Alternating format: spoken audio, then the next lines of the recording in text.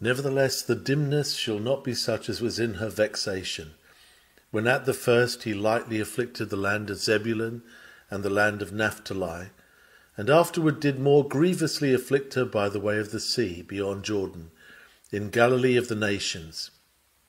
The people that walked in darkness have seen a great light. They that dwell in the land of the shadow of death, upon them hath the light shined. Isaiah chapter 9, verses 1 and 2. Emmanuel, the light of life. A sermon preached by Charles Haddon Spurgeon on Lord's Day, September the 14th, 1890. As in this case the revised version is much to be preferred, we will now read it. But there shall be no gloom to her that was in anguish. In the former time he brought into contempt the land of Zebulun and the land of Naphtali. But in the latter time hath he made it glorious by the way of the sea beyond Jordan, Galilee of the nations. The people that walked in darkness have seen a great light. They that dwelt in the land of the shadow of death, upon them hath the light shined. Isaiah 9, verses 1 and 2. When Judah was in sore distress, the sign that she should be delivered was Emmanuel. Behold, a virgin shall conceive and bear a son, and shall call his name Emmanuel. Isaiah 7, verse 14. When no other ray of comfort could be found, light came from the promise of the wondrous birth of him whose name is God with us. God alone would be the deliverer of Judah when overmatched by her two enemies. God would be with them, and he gave them as a pledge a vision of that time when in very deed God would dwell among men and bear their nature in the person of the Virgin born. It is noteworthy that the clearest promises of the Messiah have been given in the darkest hours of history. If the prophets had been silent upon the coming one before, they always speak out in the cloudy and dark day. For well the Spirit made them know that the coming of God in human flesh is the lone star of the world's night. It was so in the beginning, when our first parents had sinned and were doomed to quit the paradise of delights. It was not meet that rebels should be dwellers in the garden of the Lord. They must go forth to till the ground from whence they were taken. But ere they went, there fell upon their ear the prophecy of the deliverer who would be born. The seed of the woman shall bruise the serpent's head. How bright shone that one promise amid the surrounding gloom. The earliest believers found in this hope of the coming conqueror of the serpent a solace amid their labour and sorrow. When Israel was in Egypt, when they were in the sorest bondage, and when many plagues had been wrought on Pharaoh, apparently without success, for he knew not the Lord, neither would he let his people go. Then Israel saw the Messiah set before her as the paschal lamb, whose blood sprinkled on the lintel and the two side posts secured the chosen from the avenger of blood. The type is marvelously clear, and the times were marvelously dark. It seemed as if the Lord would make the consolation to abound, even as the tribulation abounded. I will not multiply instances but I will quote three cases from the prophetical books which now lie open before us. In Isaiah, turn to his 28th chapter and the 16th verse, and you read that glorious prophecy Behold, I lay in Zion for a foundation stone, a tried stone, a precious cornerstone, a sure foundation. He that believeth shall not make haste. When was that given? It was pronounced when the foundation of society in Israel was rotten with iniquity, and when its cornerstone was oppression.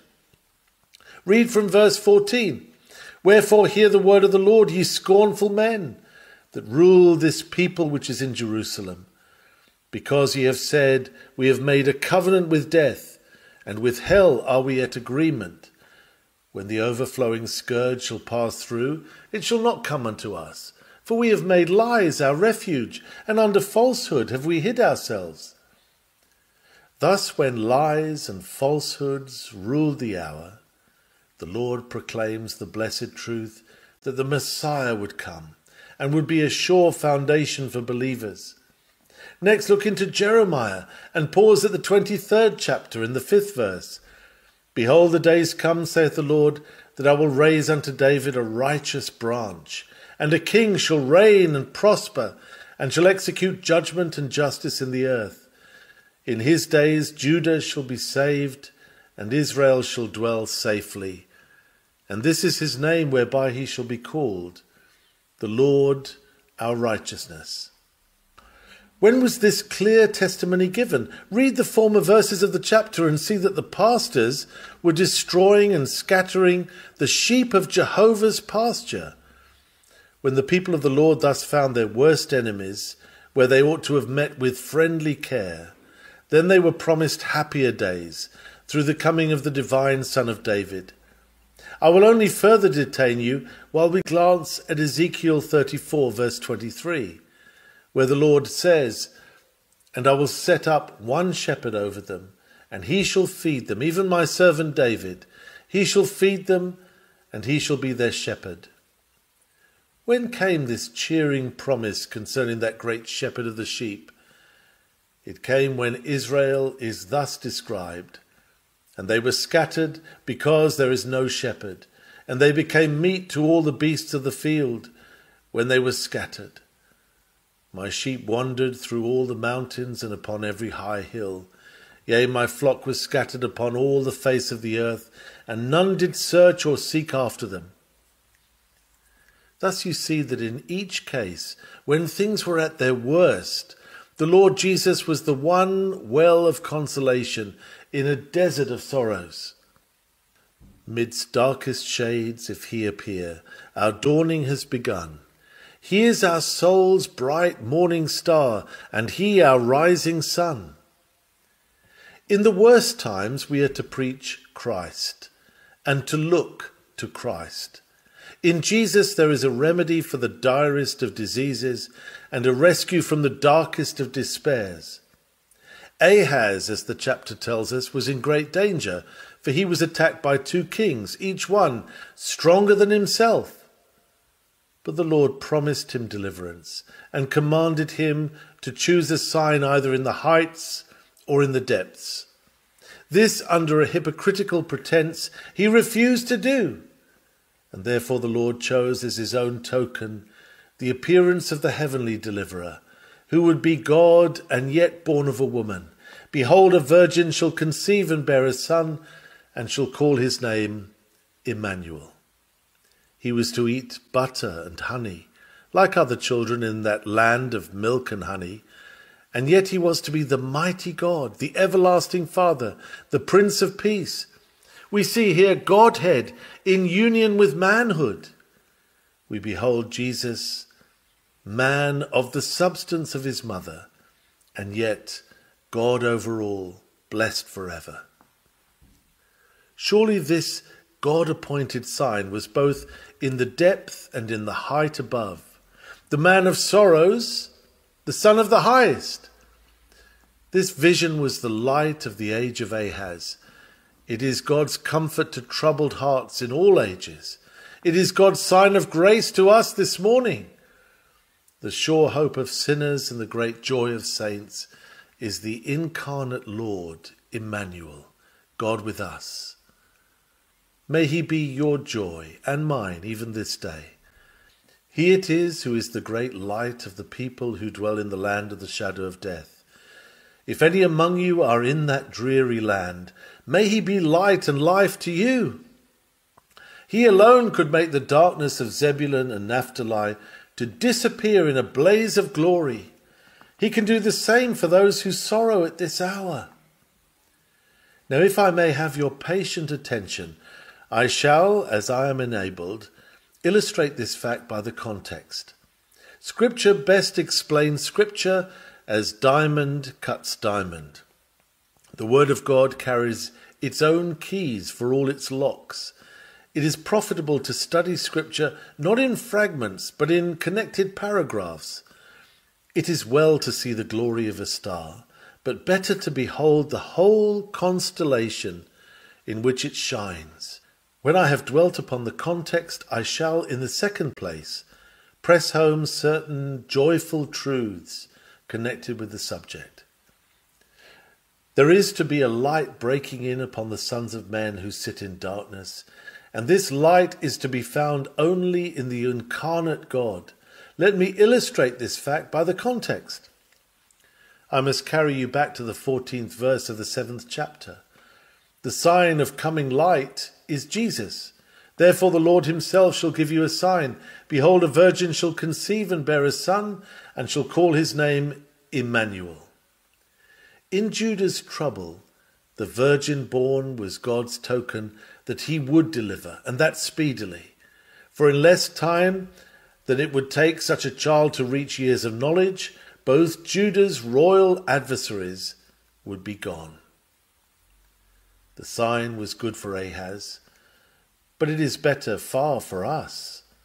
Behold the incarnate Son of God, born of Mary at Bethlehem.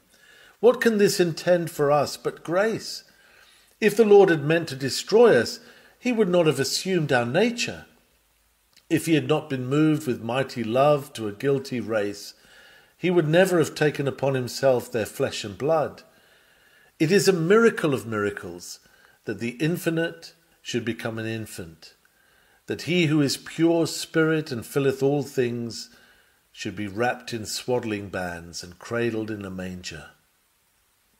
He took not on him the nature of angels, though that would have been a tremendous stoop from deity, but he descended lower still, for he took on him the seed of Abraham.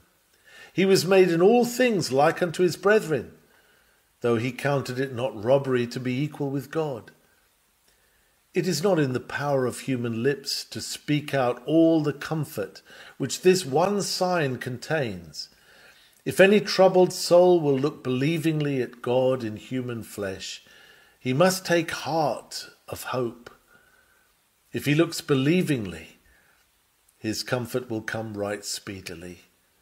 The birth of Jesus is the proof of the good will of God to men. I am unable to conceive of proof more sure. He would not have come here to be born among men, to live among them, suffer and to die for them, if he had been slow to pardon or unwilling to save.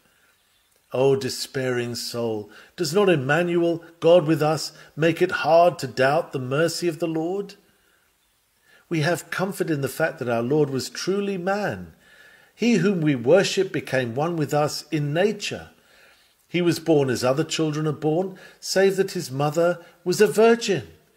He was fed as other children were fed, upon curds and honey, the food of a pastoral country.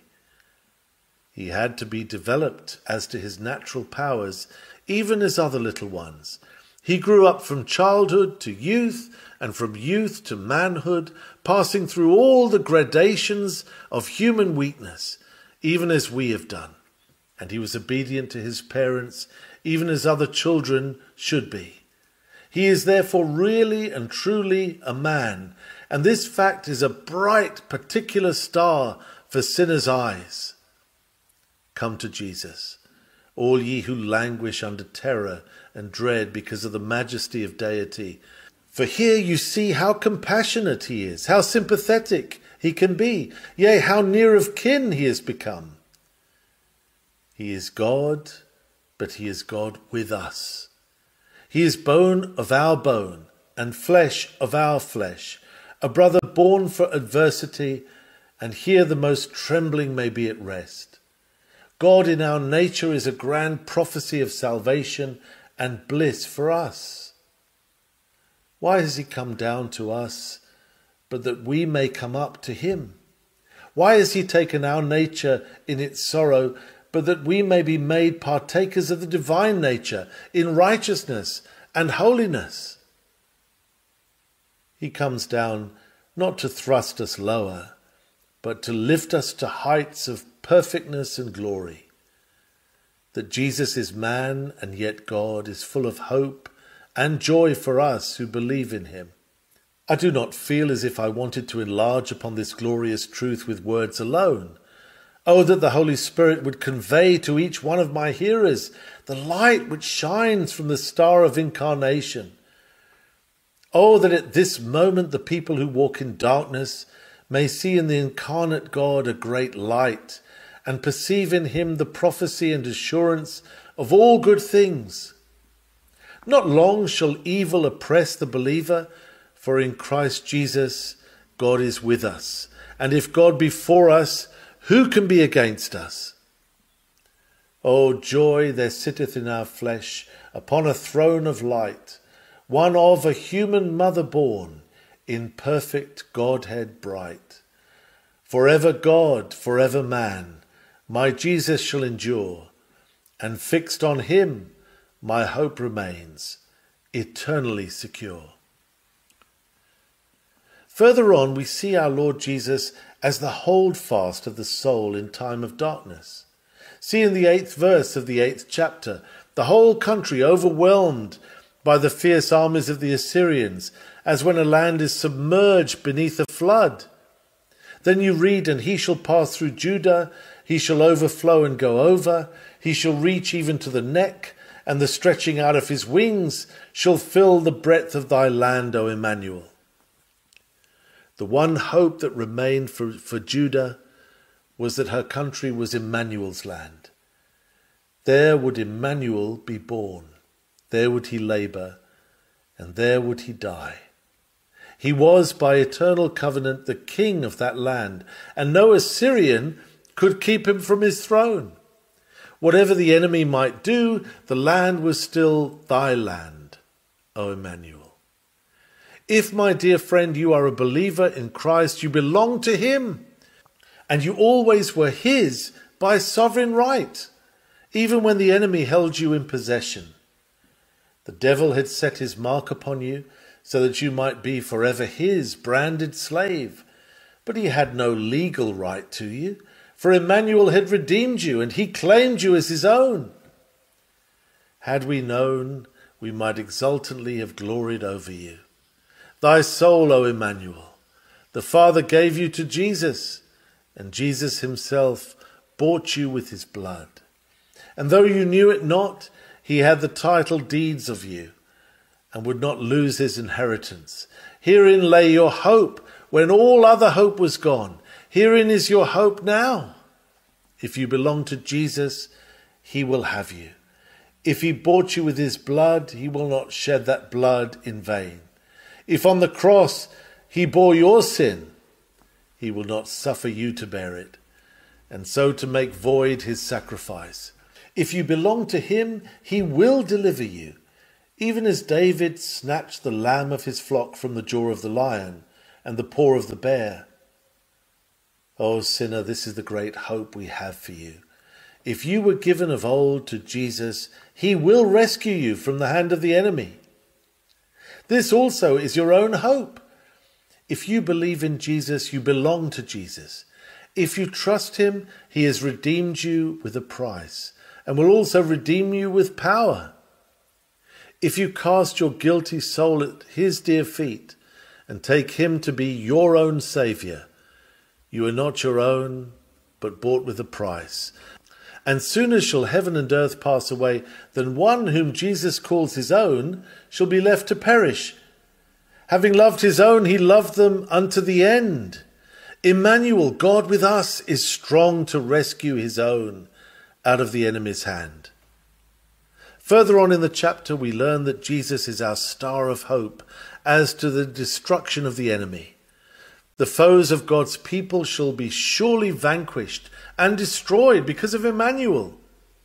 Note well in verses 9 and 10 how it is put twice over, like an exultant taunt. Gird yourselves, and ye shall be broken in pieces. Gird yourselves, and ye shall be broken in pieces.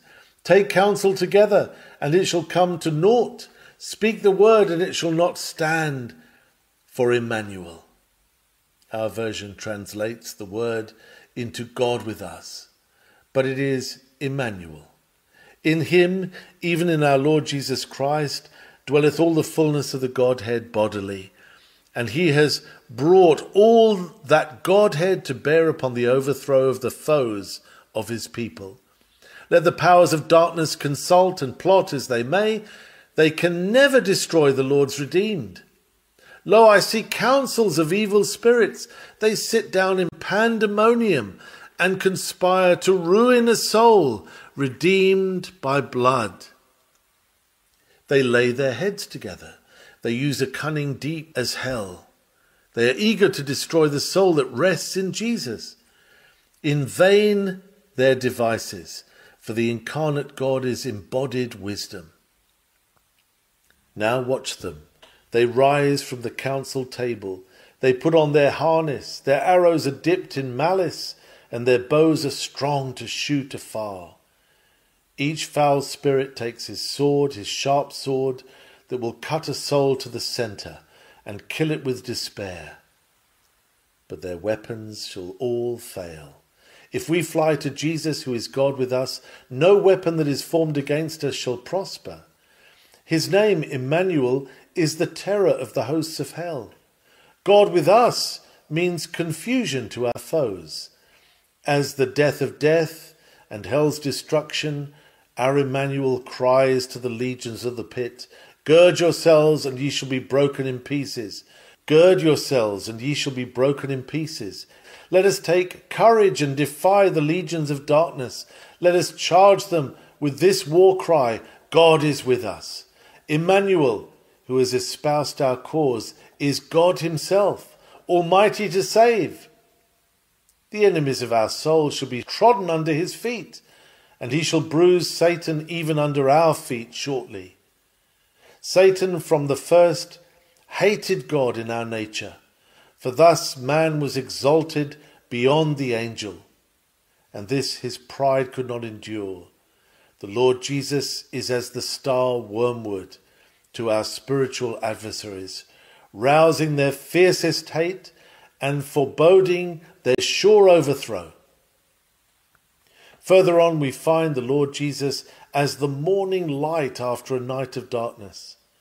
The last verses of the eighth chapter picture a horrible state of wretchedness and despair, and they shall pass through it hardly bestead and hungry.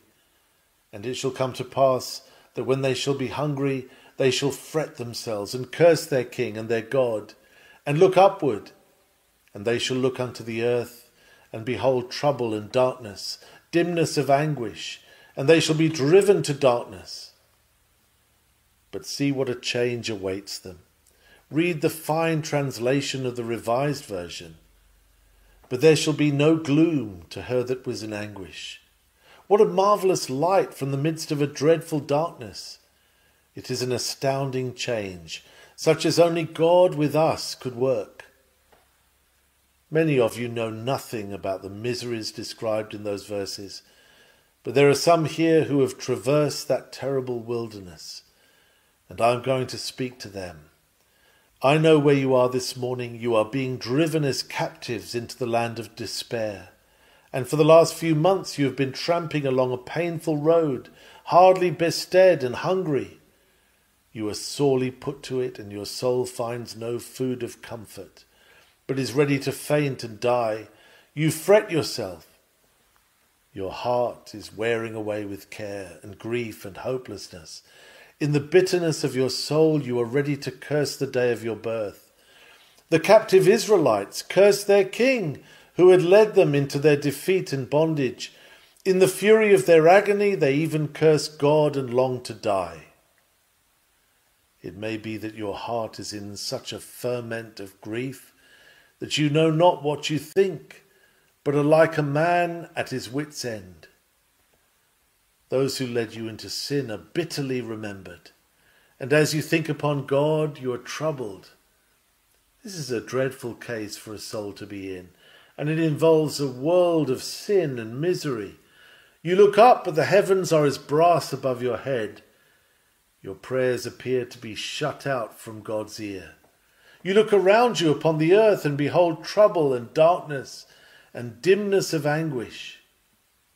Your every hope is slain, and your heart is torn asunder with remorse and dread.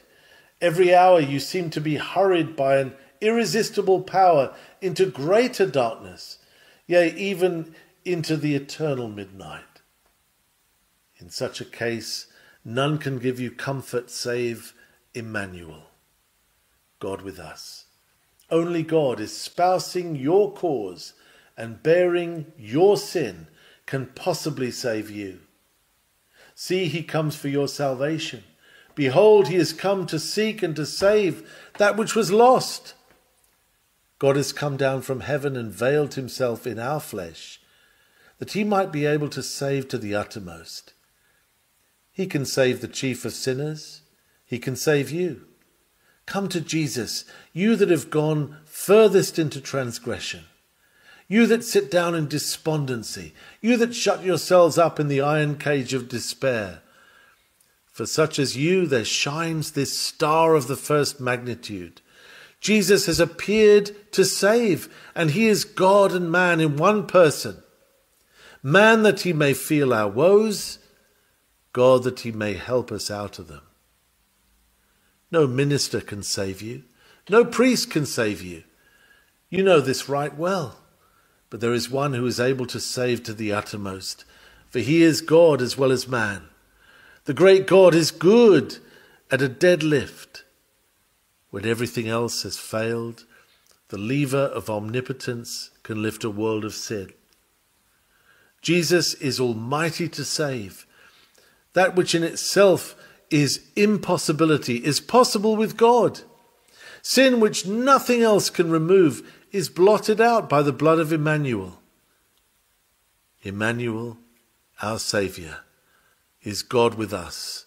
And God with us means difficulty removed and a perfect work accomplished.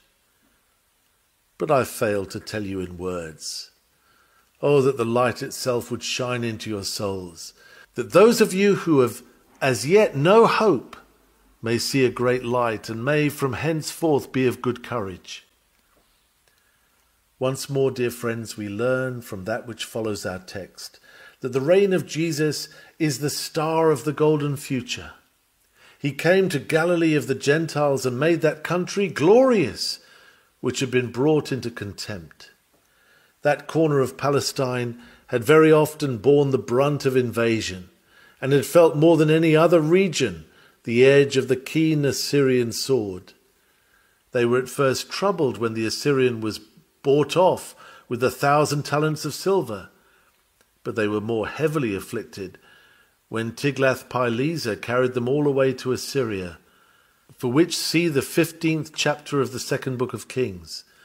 It was a wretched land with a mixed population, despised by the purer race of Jews, but that very country became glorious with the presence of the incarnate God. It was there that all manner of diseases were healed. There the seas were stilled and the multitudes were fed. It was there that the Lord Jesus found his apostles, and there he met the whole company of his followers when he had risen from the dead. That first land to be invaded by the enemy was made the headquarters of the army of salvation. This very Zebulun and Naphtali, which had been so downtrodden and despised, was made the scene of the mighty works of the Son of God. Even so at this day, his gracious presence is the day dawn of our joy. If Christ comes to you, my dear hearer, as God with us, then shall your joy be great, for you shall joy as with the joy of harvest, and as those rejoice that divide the spoil. Is it not so? Many of us can bear our witness that there is no joy like that which Jesus brings. Here read and interpret the third verse of the ninth chapter. Then shall your enemy be defeated as in the day of Midian. Gideon was, in his dream, likened to a barley cake which struck the tent of Midian so that it lay along. He and his few heroes, with their pitchers and their trumpets, stood and shouted, The sword of the Lord and of Gideon! And Midian melted away before them. So shall it be with our sins and doubts and fears. If we believe in Jesus, the incarnate God, they shall vanish like the mists of the morning. The Lord Jesus will break the yoke of our burden and the rod of our oppressor, as in the day of Midian. Be of good courage, ye that are in bondage to fierce and cruel adversaries, For in the name of Jesus, who is God with us, you shall destroy them. This you see in the fourth verse. Please follow me as I dwell on each verse. When Jesus comes, you shall have eternal peace, for his battle is the end of battles. All the armour of the armed man in the tumult, and the garments rolled in blood, shall even be for burning, for fuel of fire. This is the rendering of the revision, and it is good. The Prince of Peace wars against war and destroys it. What a glorious day is that, in which the Lord breaketh the bow and cutteth the spear in sunder, and burneth the chariot in the fire. I think I see it now. My sins, which were the weapons of my foes, the Lord piles in heaps. What mountains of prey! But see, he brings the firebrand of his love from the altar of his sacrifice, and he sets fire to the gigantic pile. See how they blaze! They are utterly consumed forever. The enemy has now no weapon that he can use against my soul. The incarnate God has broken the power of the adversary, for the sting of death is sin, and that he has made an end of. He has thus destroyed the war which raged in our souls, and now he reigns as Prince of Peace, and we have peace in him. Now is it that the Lord Jesus becomes glorious in our eyes, and he whose name is Emmanuel is now crowned in our heart with many crowns and honoured with many titles. What a list of glories we have here! What a burst of song it makes when we sing of the Messiah. His name shall be called Wonderful, Counselor, the Mighty God, the Everlasting Father, the Prince of Peace. Each word sounds like a salvo of artillery. It is all very well to hear players on instruments and sweet singers rehearse these words, but to believe them and realize them in your own soul is better far. When every fear and every hope and every power and every passion of our nature fill the orchestra of our heart, and all unite in one inward song unto the glorious Emmanuel, what music it is! He is to us the wonderful, the counselor, the mighty God, the everlasting Father, the Prince of Peace, and much more than words can tell. Do but get Christ Jesus in your soul as the incarnate God, and he will set up a government within your nature which shall bring you peace and righteousness and joy and eternal glory. He will so reign over you that your happiness shall know no bound. But you shall climb from grace to grace, from joy to joy, from peace to peace, yea, from heaven to the highest heaven. This all along shall be your divinest comfort, that Jesus is both God and man, even God with us. Thus have I very briefly skimmed over the connection. Had we time and grace, what a wealth of thought might be drawn from these inexhaustible mines. But now, secondly, I want to press home certain truths connected with my theme. Come, Holy Spirit, to help the preacher. Come, Divine Comforter, to troubled hearts and give them rest in Emmanuel.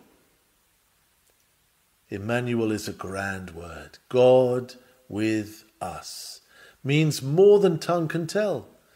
It means enmity removed on our part and justice vindicated on God's part.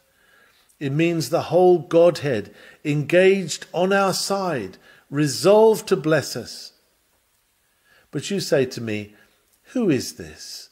Are you sure that Emmanuel is Jesus of Nazareth? Yes, Jesus is Emmanuel.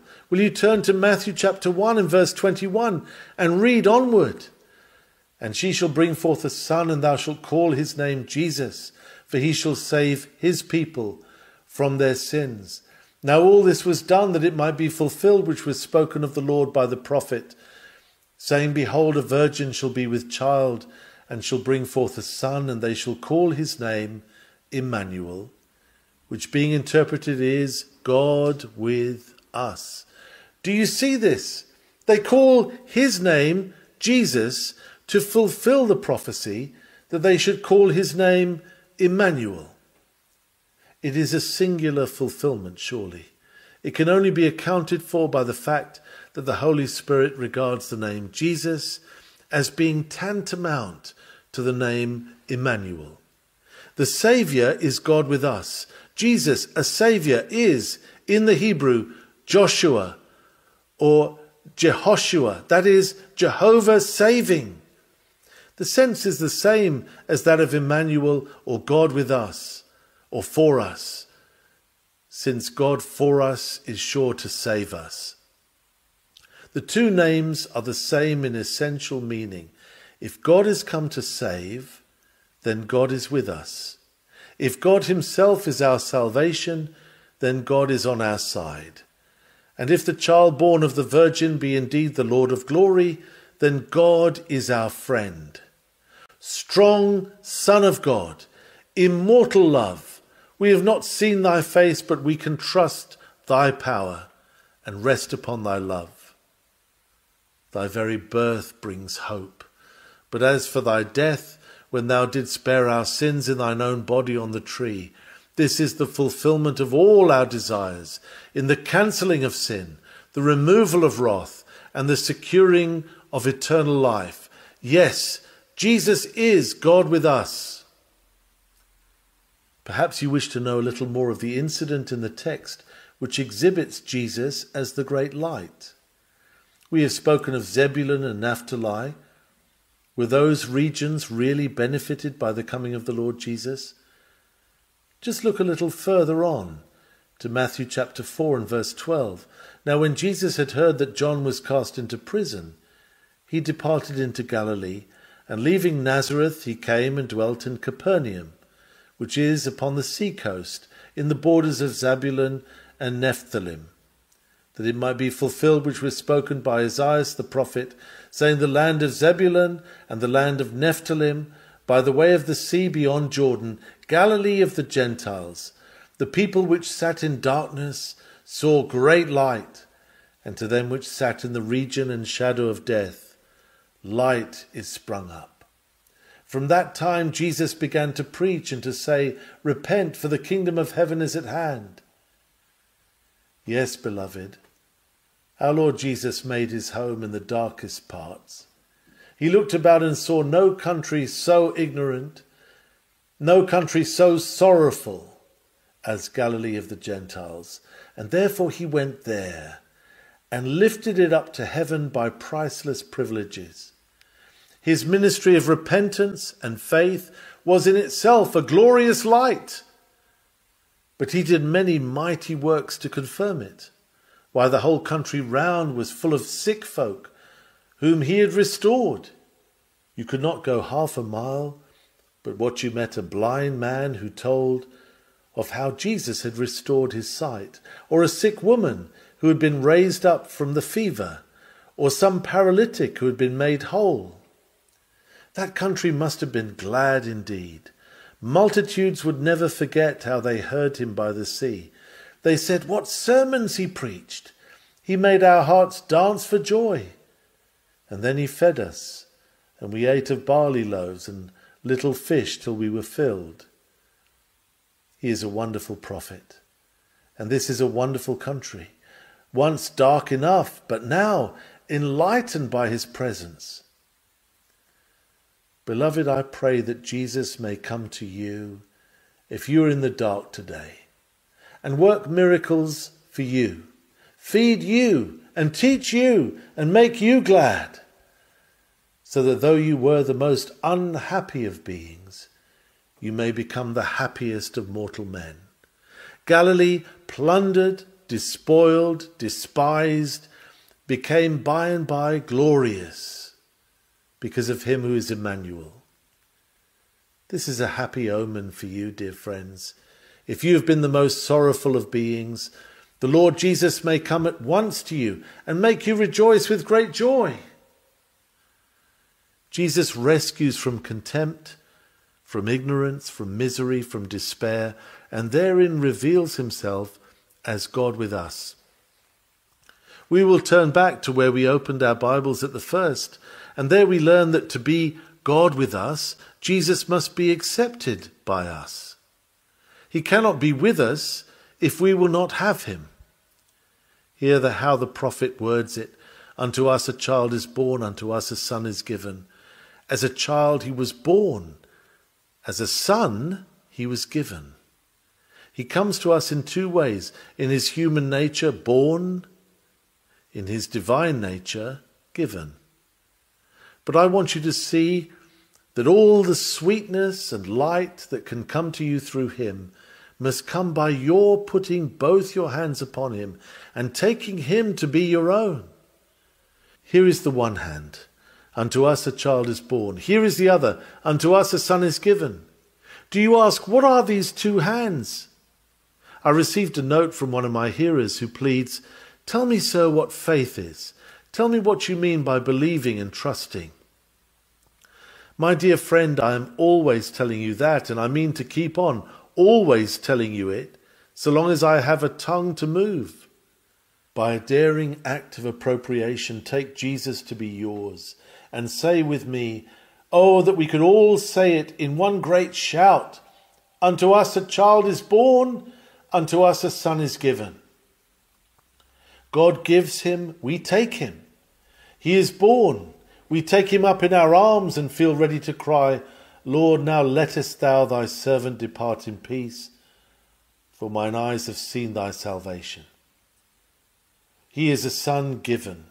Shall we not accept this gift of gifts and love him because he has first loved us? To believe is to take freely what God gives freely. It is the simplest thing that can be. I could not explain to you what to drink is, but I will put this glass to my lips and actually perform the action. Now you see what it is. The water is put to the lip, it is allowed to flow into the mouth and down the throat, and so it is drunk. Take Christ just so. Up to the very lip of your reception he flows. Open the mouth of your soul and take him into yourself. May I, say you? May you? You are threatened with damnation if you do not. For this is one side of the gospel message. He that believeth and is baptized shall be saved. He that believeth not shall be damned. A man may certainly do that which involves him in condemnation if he does not do it. That awful threatening is one of the most powerful bits of gospel that I know of. It drives while the promise draws. If you want Christ, you may have him. If you desire to have God with you, he waits to be gracious unto you. If you wish for Emmanuel, behold him in Jesus your Lord. Oh, but I wish I had some sign that I might be sure. What sign do you want beyond the gift of God, the birth of Jesus? Away with demands which are wild and ungenerous. The Word of God bids you believe and live. The moment you believe in Jesus, He is yours. Say then this morning, Unto us a child is born, unto us a son is given, and say it with fullness of delight. Be sure that you go on with the verse to the end and the government shall be upon his shoulder. If Christ is your Saviour, he must be your King. But no, nor of the terms complain. Where Jesus comes, he comes to reign, to reign and with no partial sway. Lusts must be slain that disobey. The moment we really believe in Jesus as our salvation, we fall before him and call him Master and Lord. We serve when he saves. He has redeemed us unto himself, and we own that we are his. A generous man once bought a slave girl. She was put upon the block for auction, and he pitied her and purchased her. But when he had bought her, he said to her, I have bought you to set you free. There are your papers. You are a free woman. The grateful girl fell at his feet and cried, I will never leave you. If you have made me free, I will be your servant as long as you live, and serve you better than any slave could do. This is how we feel towards Jesus. He sets us free from the dominion of Satan. And then, as we need a ruler, we say, and the government shall be upon his shoulder. We are glad to be ruled by Emmanuel, God with us. This also is a door of hope to us, that Jesus shall be the monarch of our hearts, is our exceeding joy. To us, he shall be always wonderful. When we think of him or speak about him, it shall be with reverent awe. When we need advice and comfort, we fly to him, for he shall be our counselor. When we need strength, we will look to him as our mighty God. Born again by his Spirit, we will be his children, and he shall be the everlasting Father. Full of joy and rest, we will call him Prince of Peace. Are you willing to have Christ to govern you? Will you spend your lives in praising him? You are willing to have Christ to pardon you, but we cannot divide him, and therefore you must also have him to sanctify you. You must not take the crown from his head, but accept him as the monarch of your soul. If you would have his hand to help you, you must obey the sceptre which it grasps. Blessed Emmanuel, we are right glad to obey thee. In thee our darkness ends, and from the shadow of death we rise to the light of life. It is salvation to be obedient to thee. It is the end of gloom to her that was in anguish to bow herself before thee. May God the Holy Spirit take of the things of Christ and show them unto us, and then we shall all cry, Go worship at Emmanuel's feet, see in his face what wonders meet. Earth is too narrow to express his worth, his grace, his righteousness. Amen.